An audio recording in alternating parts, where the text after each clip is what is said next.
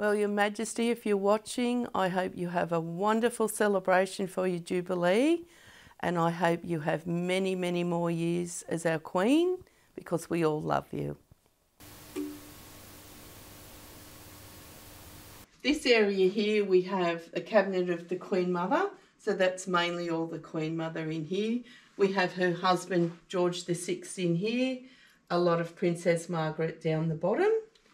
And as we come back on this side, we have Queen Elizabeth and Prince Philip. Um, there's a lot of things from their wedding in there right through their anniversaries, um, all different anniversaries there.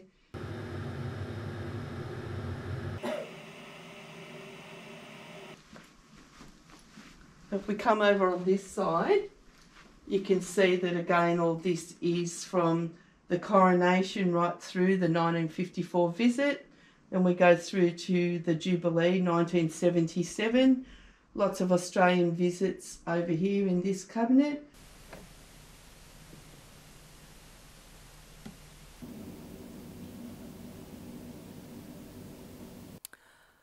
Well, she she must have been uh, like just a beautiful person before she became queen because everyone loved her just as a princess. She's fallen into a job that she was never in line for. It was only that um, uh, uncle abdicated that threw her into the line of accession. But um, I don't know, she's just done a wonderful job. How many people do you know been in the same job for over 70 years and have had to do some duty every day. Like, I think they said there's only a couple of days out of that 70 years where she's been too ill to actually do anything. So she's had to work every day for that 70 years. That's a long time, isn't it? Don't think I could do it.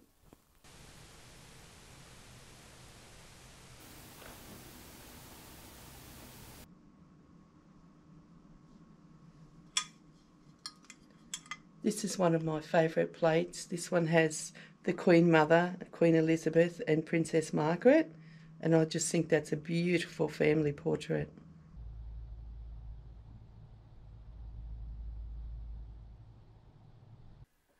Well, there might be a chance if she sends me an invite to the garden party, I'll be there in a flash. Um, we've never caught up with the Queen because each visit she came out, I was only a young mum at the time with children and you know, you were working mum as well, and it just didn't didn't fall into place. But yes, I'd love to go back to England and um, front up for a garden party one day. That'd be nice. This is Diana and Charles's room. So there's lots and lots of things. This is actually what started it. And if we have a look in the cabinet, there's a coin here. That was the original coin that started everything off back in 1981? Well, I mean, as I grew up, every little girl wanted to be a princess. So to see pictures of the Queen and the royal family, you know, that was all exciting. Andrew was the prince that everybody wanted to marry at the time. Um, a little bit different now. You get older, you see things differently. And then Diana came along and she was just the fairy tale that everybody wanted. And that's how it all began. Started out with Diana and grew from there. We are the largest in Australia.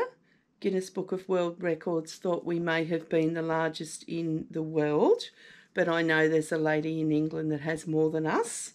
So hopefully she will see this, and if she does, give me a call. I'd love to talk to you. He was actually made when George was born, um, and we actually did a mock christening for baby George.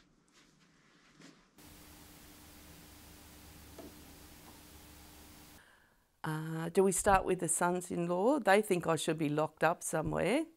The girls just say, oh no, we don't want to deal with this when you die. But when we have special events and things, they do like to see what happens, and the grandchildren have picked out all their pieces to keep when I've fallen off the perch. So, I don't know, cross between being locked up and um, being a bit silly, I don't know. they all have different opinions.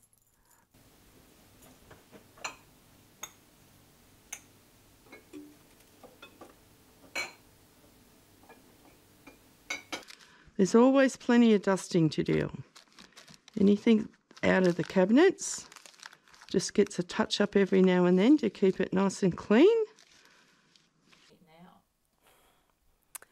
Probably William.